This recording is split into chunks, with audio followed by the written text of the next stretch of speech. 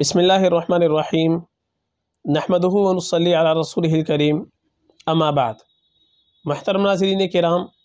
एक साहब हैं मोहम्मद शुएब इनका सवाल है अस्सलाम वालेकुम मुफ्ती साहब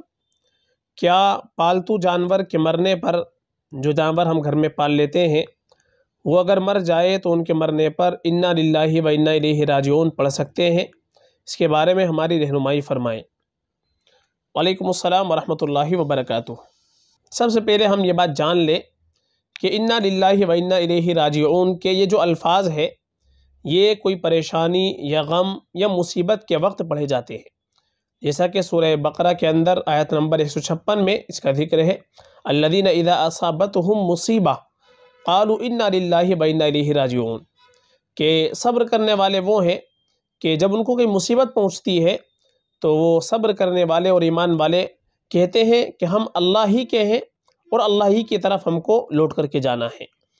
तो ये जो हम पढ़ते हैं, ये गम और मुसीबत और परेशानी के वक्त इसको पढ़ते हैं और इन कलिमात के अंदर दुआ और इस्तफ़ार का पहलू भी नहीं पाया जाता, बल्कि दर हकीकत इसमें इस बात का इजहार होता है कि हम अल्लाह ही के लिए हैं और अल्लाह ही की तरफ़ हम सबको लौट करके जाना है।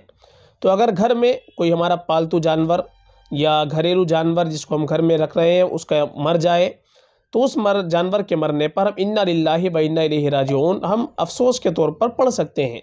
क्योंकि वो भी अल्लाह के पास गया है, मर कर के हमको भी जाना है। तो एक तरह से गम और परेशानी के लिए होता है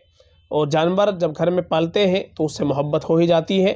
तो उसमें भी इंसान को गम होता है, परेशानी भी होती है, तकलीफ़ भी होती है। जब इंसान किसी को पालता है, उससे मोहब्बत हो जाती है, जब वो जाता है, रुख्सत होता है तो इंसान को गम और तकलीफ़ होती है। तो इस पर अगर कोई इन्ना लाही राजून पढ़ ले तो जानवर के मरने के ऊपर भी पढ़ सकते हैं, क्योंकि इसमें कोई दुआ या इस्तफ़ार का पहलू इसके अंदर नहीं पाया जाता।